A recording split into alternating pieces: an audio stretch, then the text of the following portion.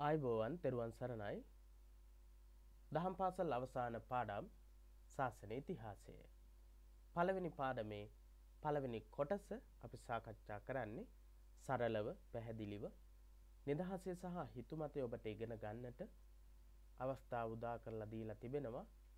පිරිවෙන දහම් පාසල පාසල අපගේ YouTube නාලිකාව මගින් තමයි මේ පාඩම් ඔබට ඉදිරිපත් කරන්නේ.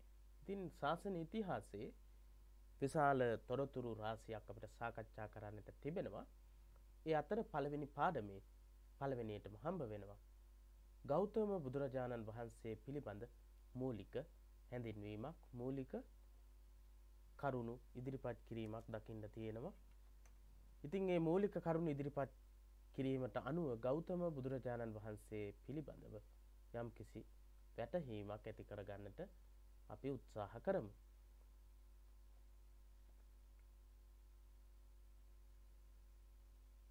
ක්‍රිස්තුපූර් හයවන සතවර්සය ඔබට පේන්නේ නැතිව ඇති අපි ක්‍රිස්තුපූරු හයවන සතවර්සය වූ කලී ලෝකයේ රටවල් කිහිපයකටම ධර්ශනික මත පිළිබඳ ස්වර්ණමය යුගයක් වේ. ක්‍රිස්තුපූර්ව හයවැනි සතවර්සය වැදගත් වෙන වර්ෂයක් වෙනවා. ක්‍රිස්තුපූර්ව හයවැනි සතවර්සය ඇයි අපිට වැදගත් වෙන්නේ? අපිට වැදගත් වෙනවා ලෝකයේ රටවල් කිහිපයකටම දාර්ශනික මත පිළිබඳ ස්වර්ණමය යුගයක් නිසා ක්‍රිස්තුපූර්ව හයවැනි සතවර්සයේ සුවිශේෂත්වය තමයි ගොඩක් රටවල් වල දාර්ශනික මත පිළිබඳ ස්වර්ණමය යුගයක් බවට පත් වෙලා තියෙනවා. ක්‍රිස්තු පූර්ව 6 වෙනි සතවර්ෂයේ ක්‍රිස්තුස් වහන්සේ පහළ සතවර්ස හයකට කලින්. විශේෂයෙන්ම එය භාරතීය සමාජයේ දාර්ශනික මතවාදයන් උග්‍රවමින් පැවති යුගයක් මෙන්ම විවිධ වත් පිළිවෙත්වල නිරත වෙමින් සත්‍ය ගවේශනයෙහි නියැලුණු ආගම් කතුවරුන් බහුලව සිටි යුගයකි. මේක භාරතයට එම නැත්නම් දහම් පාසල් අවසාන විභාගය ලියන අපිට වැදගත් වෙන්නේ මොකක් නිසාද?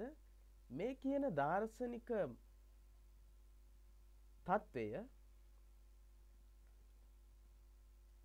විශේෂයෙන්ම එය ಭಾರತೀಯ සමාජයේ දාර්ශනික මතවාදයන් උග්‍ර වෙමින් පැවති යුගයක් මෙන්. ක්‍රිස්තු පූර්ව 6 වෙනි සියවසේ කියන්නේ ಭಾರತೀಯ සමාජයේ දාර්ශනික මතවාද උග්‍ර වෙමින් සංවර්ධනය වෙමින් පැවතුණු කාලවකවානුවක්. ඒ විතරක් නෙවෙයි විවිධ වත්පිළිවෙත්වල නිරත වෙමින් සත්‍ය ගවේෂණයෙහි නියැලුණු ආගමික කතුවරුන් බහුලව සිටි යුගයකි. වත්පිළිවෙත් අනුගමනය කරමින් ඒ වත්පිළිවෙත්වල නිරත වෙමින් සත්‍ය සොයාගෙන කියපු දාර්ශනිකයින් ඒ වගේම සත්‍ය ගවේෂකයින් වත්පිළිවෙත් අනුව කටයුතු කරපු අය ආගම් ආගම් කතුවරුන් බහුලව හිටපු යුගයක් තමයි භාරතයේ ක්‍රිස්තුපූරු හයවෙනි සියවසේ. කරුණාවේ හා ප්‍රඥාවේ ජීවමාන මූර්තියක්සේ සැලකෙන ගෞතම මුනීන්ද්‍රයන්ගේ උපත සිදුවූයේ දඹදිව මෙසාමයෙහිය ඔන්න අපිට වැදගත්වෙන කාරණය අපි කතා කරන්නට යන්නේ ලොවතුරා බුදුරජාණන් වහන්සේ පිළිබඳව. කරුණාවේ හා ප්‍රඥාවේ ජීවමාන ප්‍රතිමූර්තියක් සේ සැලකෙන.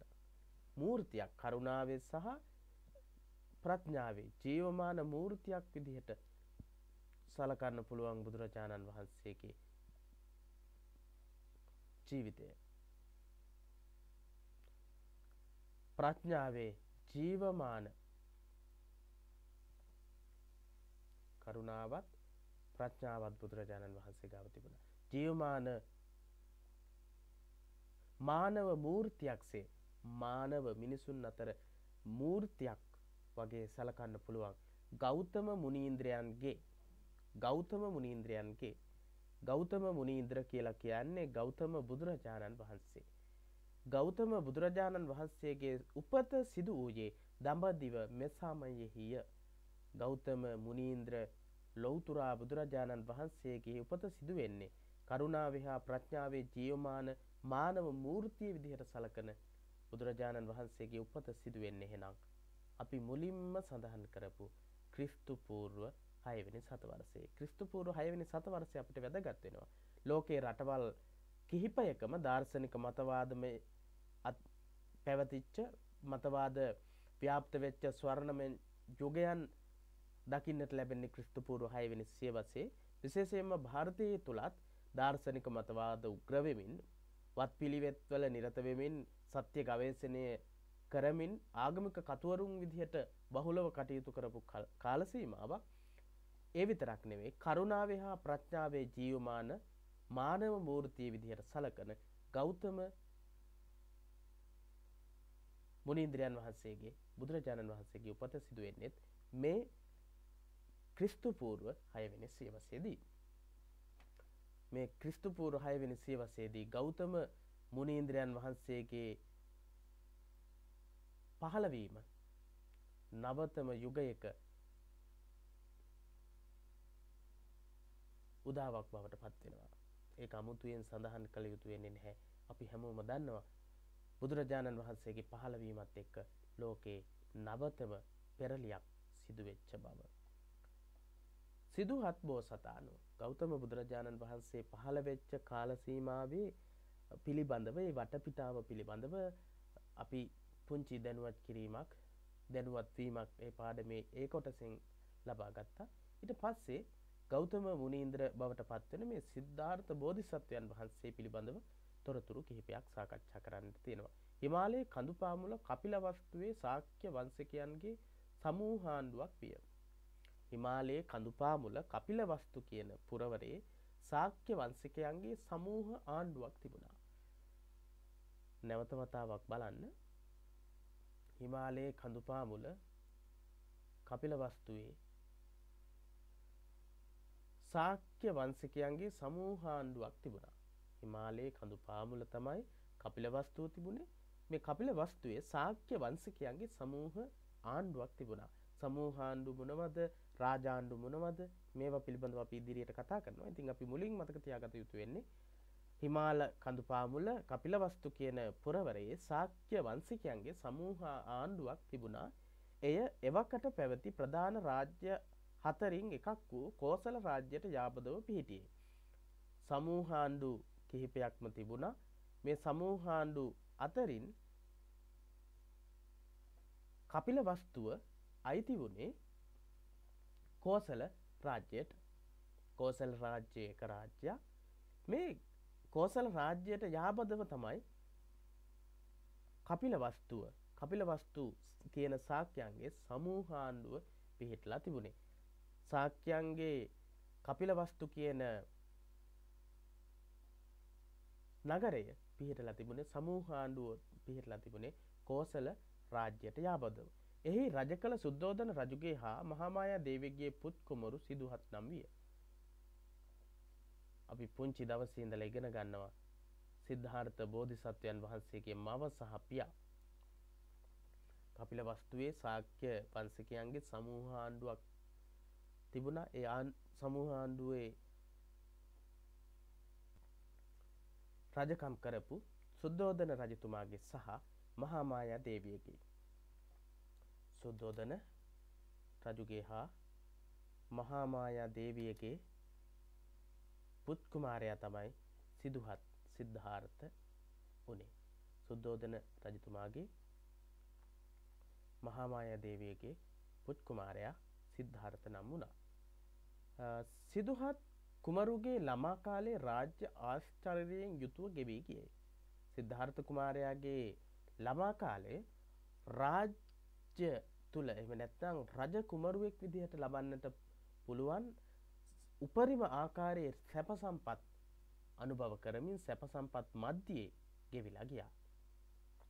සිදුහත් කුමරුගේ ළමා කාලය සිදුහත් කුමාරයා ඉපදුණු ඒ රාජ්‍ය වංශේ උතුම් බව කියාපාමින් ප්‍රදර්ශනය කරමින් ආශ්චර්යෙන් යුක්තව ගෙවිලා ගියා. එහෙත් වයස මුහුකුරා යත්ම බුද්ධියෙන්ද මුහුකුරා ගිය සිදුහත් කුමරු ලෝකේ යථා තත්ත්වයේ පිළිබඳව පරීක්ෂාවේ යෙදුණේ. වයසට යනවත් එක්කම සිද්ධාර්ථ බෝධිසත්වයන් වහන්සේ සත්‍ය කියන්නේ කුමක්ද කියන එක පිළිබඳව අවධානය යොමු කළා. රාජකුමාරු කුමරුවෙක් විදිහට රාජමාලිගාවේ හිටියත් වයස මුහුකුරා යනකොට බුද්ධියෙන් මුහුකුරා යනවා බුද්ධියෙන් මුහුකුරා යනකොට සිදුහත් කුමාරයා ලෝකයේ යථා තත්ත්වය මොකක්ද කියන එක පිළිබඳව ගවේෂණය කරන්න පෙළඹුණා. සමකාලීන සමාජයේ අසහනකාරී තත්ත්වයකින් පිරී පැවති බව දුටු එතුමාට මිනිසා ලබන తాවකාලික සැනසීම වෙනුවට සදාකාලික සැනසීමක් තිබේදැයි පරීක්ෂා කළ යුතු බව අවබෝධ විය. ඒ කාලේ සමාජයේ අසහනකාරී තත්ත්වයක් තමයි තිබුණේ පිරිලා ඉතිරිලා ගිහිල්ලා. ඒ තිබුණු තත්ත්වය දැකපු බෝධිසත්වයන් වහන්සේ සිද්ධාර්ථ බෝධිසත්වයන් වහන්සේ මිනිසා ලබන තාවකාලික සැනසීම වෙනුවට තාවකාලික සැනසීම වෙනුවට සදාකාලික සැනසීමක් මිනිසා ලබන්නේ තාවකාලික වූ සැනසීමක් කියන එක සිද්ධාර්ථ බෝධිසත්වයන් වහන්සේට අවබෝධ වුණා. ඒක වෙනුවට සදාකාලික සැනසීමක් තිබේදයි පරීක්ෂා කිරීමට කල්පනා වුණා. සදාකාලික සැනසීමක් ඇද්දැයි පරීක්ෂා බැලීමට බෝධිසත්වයන් වහන්සේට සිද්ධාර්ථ බෝධිසත්වයන් වහන්සේට හිතුණා. ඉතින් මොකක්ද මේ බෝධිසත්වයන් වහන්සේ සිදු කරන්නේ? මේ උදාර කාර්ය සඳහා ගිහිගෙය බාධකයක්සේ කල්පනා කළ කුමරු ගිහිගෙයින් නික්ම යාමට තීරණය කළේ. తాවකාලික වූ සැපයන් පිළිබඳව කල්පනා කරන බෝධිසත්වයන් වහන්සේ කල්පනා කරනවා මේ සත්‍ය ලෝක යථා ස්වභාවය අසහනකාරී තත්ත්වයෙන් පසුවෙන තත්ත්වයෙන් මිදීම සඳහා කළ යුත්තේ කුමක්ද කියන එක අවබෝධ කරගන්නට නම් උදාර කාර්යය සිදු කරන්නට නම් ගිහිගේ බාධකයක් විදිහට කුමාරයා කල්පනා කළා. ගිහිගේ බාධකයක් විදිහට කල්පනා කරලා ගිහිගෙය අතහැර යන්න තීරණය කළා. තරුණ වියහිදීම මව්පියන් හඬද්දීම ඒ ගැන නොතකා ස්වාර්ථ හා පරාර්ථ සාධනය අරමුණු කොටගත් උදාර හැඟීමෙන් යුතුව එතුමා ගිහිගය හැරපියා ගොස් පැවිදි විය. බෝධිසත්වයන් වහන්සේ ගිහිගේ අතහැරලා ගිහිල්ලා පැවිද්දත්වයට පත් වෙනවා පැවිදි භාවය ලබා ගන්නවා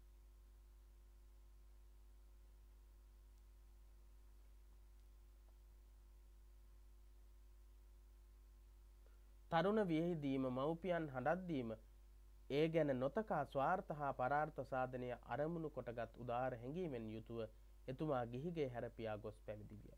සිද්ධාර්ථ බෝධිසත්වයන් වහන්සේ තමන්ගේ දෙමව්පියන් හඬද්දී ගිහිගේ අතහැරලා ගිහිල්ලා පැවිදි භූමියට ඇතුළත් වෙච්ච ආකාරය පිළිබඳව සඳහන් වෙනවා ත්‍රිපිටක සාහිත්‍ය තුල අරිය පරියේෂණ සූත්‍රය වගේ සූත්‍ර දේශනාවල මේ පිළිබඳව ඉතාමත් හොඳින් සඳහන් වෙලා තියෙනවා. ඉතින් ගිහිගේ අතහැරලා යනවා. තරුණ වියහිදීම මව්පියන් හඬද්දීම ඒ ගැන නොතකා ස්වාර්ථ හා පරාර්ථ සාධනය අරමුණු කොටගත් උදාර හැඟීමෙන් තමයි සිද්ධාර්ථ බෝධිසත්වයන් වහන්සේ ගිහිකය අතහැරලා යන්නේ. මෙම ඓතිහාසික සිද්ධිය වූයේ විසී නව වැනි වියේදීය. සිද්ධාර්ථ බෝධිසත්වයන් වහන්සේ ගිහිගේ අතහැරලා ගියේ කීවැනි වියේදීද කියලා අපෙන් අහනව නිතරම විසි නව වැනි වියේදී. සිද්ධාර්ථ බෝධිසත්වයන් වහන්සේ ගිහිගේ අතහැර ගියේ විසි නව වැනි වේදී. සත්‍ය කුමක්දැයි පරීක්ෂා කරමින් විවිධ උගතුන් වෙත ගිය සිදුහත් තවුසානෝ එයින් සෑහීමකට පත් නොවූහ. සත්‍ය කුමක්ද කියලා පරීක්ෂා කරමින් ගමන් කරන සිද්ධාර්ථ බෝධිසත්වයන් වහන්සේට විවිධාකාරය උගත්තු හම්බ වෙනවා. ඒත් ඒ එකම ගුරුවරයෙක්ගින්වත් සෑහීමකට පත් වනේ නෑ.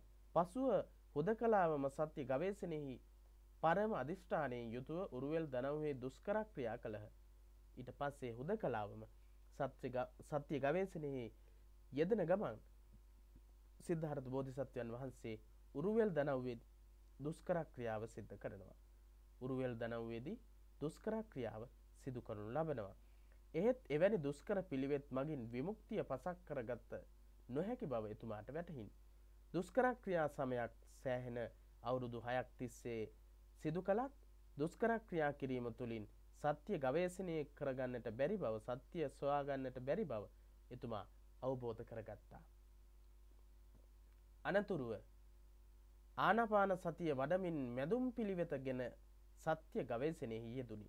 ආන අනතුරුව ආනපාන සති භාවනාව ආනපාන සති භාවනාව හුස්ම ගැනීම හුස්ම පිට කිරීම පිළිබඳ හොඳ සිහියෙන් කටයුතු කිරීම.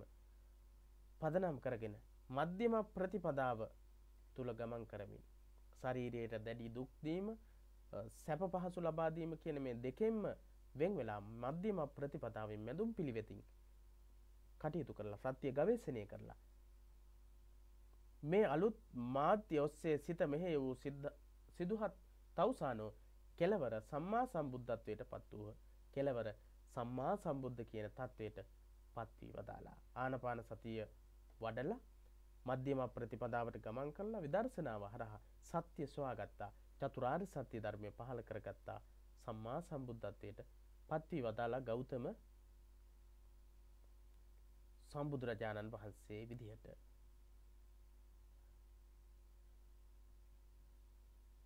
සිද්ධාර්ථ බෝධිසත්වයන් වහන්සේ පිළිබඳව මූලික කරුණු ඒ විදිහට කතා කළේ සාකච්ඡා කළේ ඊට පස්සේ අපි කතා කරනවා මේ උතුම් වූ සම්මා සම්බුද්ධ රාජ්‍යයට පත් වී වදාළ ගෞතම මුනීන්ද්‍ර සම්මා සම්බුදුරජාණන් වහන්සේගේ ධර්මදූත කාර්යය පිළිබඳව ධර්මදූත කාර්යය සිදු වෙන්නේ කොයි ආකාරයෙන්ද කියන එක පිළිබඳවයි ඊළඟට අපි සාකච්ඡා කරන්නට බලාපොරොත්තු වෙන්නේ. තවත් තොරතුරු රාශියක් තියෙනවා අපිට සාකච්ඡා කරන්නට අපේ සියලු කරුණු සාකච්ඡා කරමු අපි දැන් කතා කරමින් ඉන්නේ ගෞතම සම්මා සම්බුදුරජාණන් වහන්සේගේ ධර්මදූත කාර්ය පිළිබඳව. බුද්ධත්වයෙන් පසු සති කිහිපයක් හුදකලාව ධ්‍යාන සුවයෙන් හා ධර්මය මෙනෙහි කිරීමෙන් කල්ගෙවූ බුදුරදුන් අන්තිමේදී මෙසේ සිදුවහ. බුද්ධත්වයෙන් පස්සේ සති හතක් ගත කරනවා එක එක ස්ථානවල තමයි ඒ සති හතගම් බුදුරජාණන් වහන්සේ ගත කරන්නේ ඊට පස්සේ ධ්‍යාන සුවයෙන් ඉවත් වෙලා ධ්‍යාන සුවයෙන් පසුවෙච්ච බුදුරජාණන් වහන්සේ මෙන්න මේ විදිහේ කල්පනාවක් කරපු බව ධර්ම සාහිත්‍යය තුළ සඳහන් වෙනවා. ම විසින් අවබෝධ කරන ලද මේ දහම ගැඹුරුයි. මම මේ අවබෝධ කරගත්ත ධර්මය හරිම ගැඹුරු දහමක්. හරිම ගැඹුරු දහමක්. අවබෝධ කර ගැනීමට අපහසුය. ගැඹුරුයි විතරක් නෙවෙයි මේ මම අවබෝධ කරගත්ත ධර්මය අවබෝධ කරගන්න හරිම අපහසු වූ ධර්මයක්. මම බොහොම අමාරුයි මේ ධර්මය අවබෝධ කරගත්තේ. වටහා ගැනීම දුෂ්කරය. මේ ධර්මය වටහා ගන්නට ඉතා දුෂ්කරයි.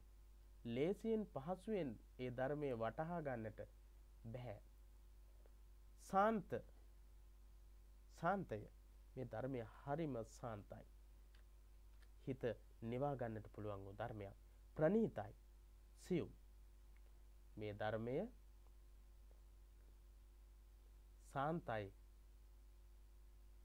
ප්‍රණීතයි සියුම්.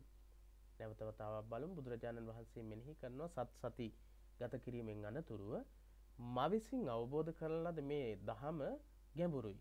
අවබෝධ කර ගැනීමට අපහසුය. වටහා ගැනීම දුෂ්කරයි. සාන්තය ප්‍රනීතය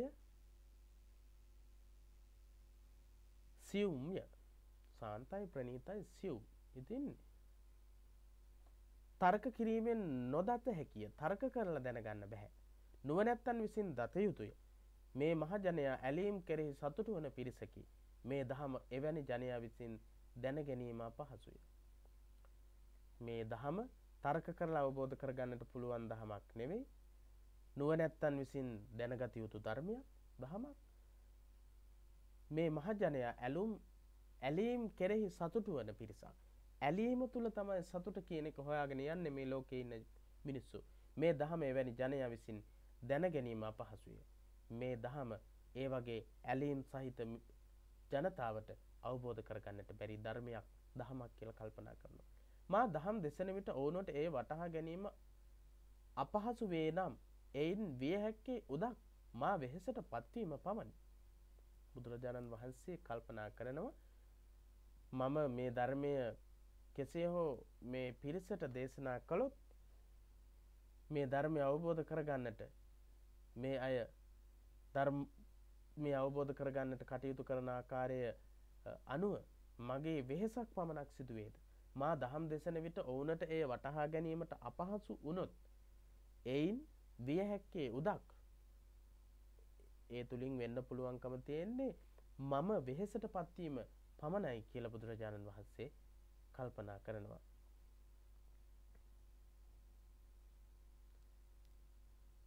බුදුරදුන්ගේ මේ උදාසීනත්වය දුටු මහා බ්‍රහ්මතෙමේ බුදුරදුන් වෙත පැමිණ නමස්කාර කොට දහම් දෙසීමට ආරාධනා කළේ. මහා බ්‍රහ්මයා මහා බ්‍රහ්ම මේ ස්ථානයට පැමිණෙනවා. බුදුරජාණන් වහන්සේගේ උදාසීනත්වය දකිනවා. දැකලා බුදුරජාණන් වහන්සේට ධර්මයේ දේශනා කරන ලෙස ආරාධනා කර සිටිනවා. නැවත බුදු ඇසින් ලොව බලන බුදුරජාණන් වහන්සේ සමාජයෙන් පියුම් පොකුණක්සේ දුටහ. සමාජය පියුම් පොකුණක් වගේ දැක්කා. මහා බ්‍රහ්මය ඇවිල්ලා බුදුරජාණන් වහන්සේට ආරාධනා කරනවා ධර්මයේ දේශනා කරන්නට කියලා. ඒ ආරාධනා කළාට පස්සේ නැවත වතාවක් බුදුරජාණන් වහන්සේ ලෝකයේ දෙස බලනවා. ලෝකයේ බුදුරජාණන් වහන්සේට පෙනෙන්නේ පියුමක්, පියුම් පොකුණක් වගේ. බුදුරජාණන් වහන්සේ පියුමක් වගේ පේනවා. ලෝකයේ පොකුණක් වගේ පේනවා. කෙලෙස් බුද්ධිය හා ශ්‍රද්ධාවෙන් නොෙක් අවස්ථාවන්හි පසුවන සත්වයා නිලුපුල් විලක හෝ හෙළපියුම් විලක දියෙහි හටගෙන. දියෙහි වැඩුණු දියෙහි ගැලී සිටින මල්ද දිය මට්ටමට හා නැගී සිටින මල්ද මෙන් දුටු බුදුරජාණන් වහන්සේ දහම් දෙසීමට කල්පනා කළහ. මේක හොඳින් මතක තියාගන්න බුදුරජාණන් වහන්සේගේ පද්මාකාර වූ ජීවිතය පිළිබඳවත් මේ තුළ ඉගැන්වෙනවා බුදුරජාණන් වහන්සේ මෙතනදී සඳහන් කරනවා කරුණු කිහිපයක් නිලුපුල් විලක හෝ නිල්ලුපුල් තිබෙන විලක එහෙම නැත්නම් හෙළපියුම් තියෙන විලක දියෙහි හටගෙන දියෙහි වැඩුණු දිය තුලින්ම හටගෙන දිය තුලම වැඩිච්ච වර්ධනය වෙච්ච දියෙහි ගැලී දිය තුල වතුරේ ගෑවි ගෑවි සිටින මල්ද දිය මට්ටමට හා නැගී සිටින මල්ද දියෙන් මතු පිටට ආපු මල් දියේ ගෑවි ගෑවී තියෙන මල් මෙන් දුටු බුදුරජාණන් වහන්සේ දහම් දෙසීමට කල්පනා කළහ. මේ ලෝකේ ඉන්න සත්වයින් ඒ විදිහයි. දියේ ගෑවි ගෑවී ඉන්න අය එවගේම සමහර අය දියෙන් මතු පිටට ඇවිල්ලා දියේ ගෑවෙන්නේ නැතිව තියෙන මල් වගේ සමහර පිරිසක් සිටිනවා. බුදුරජාණන් වහන්සේ ඒ දිය තුලම හටගෙන දියෙන් ගොඩට ඇවිල්ලා දියෙන් මතු පිටට ඇවිල්ලා තිබෙන්නා වූ පියුමක් විදිහටයි උපමා කරලා තියෙන්නේ. අනතුරුව තම ප්‍රථම ධර්මදේශනාව සඳහා පස්වග තවුසන් සුදුසු බව තේරුම්ගත් බුදුහු ඔවුන් මුණගැසීම පිණිස ඉසිපතනය බලා පැඩියහ. ඉසිපතන මිගදායේ තමයි බුදුරජාණන් වහන්සේගේ ප්‍රථම ධර්මදේශනාව සිද්ධ වෙන්නේ පස්වග මහනුන් උදෙසා. ප්‍රථම ධර්මදේශනාව සඳහා බුදුරජාණන් වහන්සේ බරණැස ඉසිපතන මිගදාය වෙත වැඩම කරන්නට තීරණය කළා. එහි ගොස් පස්වග තවුසන් මුණගැසී තමන් වහන්සේ සම්මා සම්බුද්ධත්වයට පත් වූ බව ඔවුනට අවබෝධ කර දුන්න. ඒ අයට අවබෝධ කරවල දුන්න තමන් සම්මා සම්බුද්ධත්වයට පත් වූ බව. තමන් විසින් අවබෝධ කරගන්න ලද සර්වඥතාඥානය එම තවුස් පස් දෙනාට එකවරම අවබෝධ කර ගැනීම දුස්කර බව උන්වහන්සේට වැටහිනි. තමන් අවබෝධ කරගත්ත සර්වඥතාඥානය සියල්ල දත් සම්මා සම්බුද්ධත්වය.